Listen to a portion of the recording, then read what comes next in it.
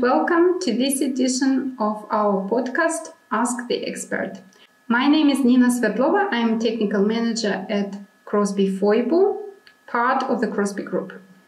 Today we'll be answering a question coming from an anonymous source. And the question is I hear about fatigue being important in lifting and mooring applications. What is it and what can I do to avoid having issues with fatigue?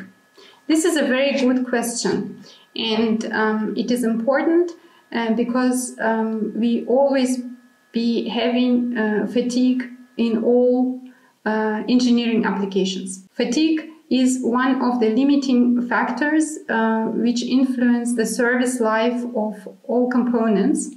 And um, fatigue is basically the weakening of the material uh, due to cyclic loading or dynamic loading of the components. And uh, what is important to take away is that fatigue can occur even at um, loads lower than working load limit. There are three stages to fatigue. Uh, first stage is crack initiation. It follows by um, crack propagation and ultimately um, you, you, can have uh, fatigue failure. Um, what is happening? Um, in the f- crack initiation uh, phase, the material is experiencing high stresses. Um, normally, it is a very localized process, and at this process, material um, accumulates fatigue damage uh, on the microscopic level, and uh, micro cracks um, appear. Um, then um, microscopic cracks um, they present a stress concentrator and at the tip and we enter the crack propagation phase. At the tip of the crack, plastification of the material happens and uh, micro damage is accumulated um, quicker and then uh, the crack grows further with every cycle. And finally, after the crack has reached a critical size and the rest uh, cross section is not able to hold the load, um, we have catastrophic failure of the component. So, how many uh, repeated loads or um, loading cycles my component is able to withstand? Uh, this depends on the application, of course. Um, but if we are talking about uh, lifting equipment, many standards prescribe 20,000 cycles at 1.5 working load limit. Um, this uh, may seem like a random uh, number at random loading conditions, but let us have a look at the so-called um, SN curve. This curve shows basic, uh, basic uh, behavior um, of metallic materials under dynamic loading conditions. Uh, the y-axis shows the um, stresses and uh, the number of cycles are plotted on the x-axis. Uh, the very left point in the curve corresponds to the uh, breaking strength of the material.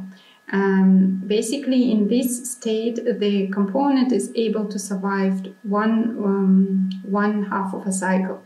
And on the right hand side, um, we can see endurance limit, so called, it corresponds to the load level uh, in the component um, at which the part can survive forever, uh, which means that the fatigue damage is um, accumulating not quickly enough or not strongly enough um, to initiate a crack.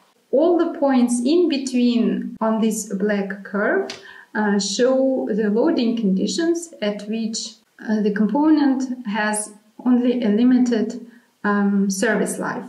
Um, if we have a look at 1.5 working load limit stress level, uh, then we see that um, it corresponds uh, approximately to 20,000 uh, loading cycles. At the same time, this component at working load limit um, is very unlikely to fail um, at after 2 million um, or before 2 million cycles. This means that these both uh, loading conditions are representative of one each other. And um, the advantage of testing at 1.5 working load limit is that you are able to achieve or to assess the fatigue performance of your component in um, a very reasonable amount of time. So, um, what are the other factors influencing fatigue resistance? A part of the stress uh, level and uh, properties of material. Um, surface finish is a very important factor for the fatigue resistance. Um, as I mentioned before, um, the fatigue damage accumulation uh, starts at the stress concentration points, and um, very rough surface can um, give a good ground as a stress concentration for stress concentration on the surface. So apart from the um, load level, and um, properties of the material, what else um, influences the fatigue resistance of the component. Uh, one important point is residual stresses, uh, which are caused by manufacturing process. Basically, um, anything which causes high stress concentration, uh, we talked about the localized process of um, fatigue damage accumulation. So anything which causes local uh, high stresses uh, in the material uh, influences the fatigue performance of the material. Complex geometry, uh, abrupt changes of the geometry, like notches, holes, grooves, um, are stress concentrators, um, which uh, will accumulate um, uh, fatigue damage. Also, mechanical damage uh, to the surface of the part um, uh, may cause notches, and they are also stress stress concentrators. Um, this is on a macroscopic level. On the microscopic level, um, surface finish or um, corrosion uh, on the surface may also um, cause uh, these uh, crack initiation points. The next graph visualizes the um, effect of corrosion on the uh, steel and um, performance in the fatigue. This the uh, curve A shows uh, ideal laboratory testing conditions, and B uh, shows um, steel affected by corrosion. This causes lower ultimate strength of the component, fewer cycles at the same stress level, and no endurance limit.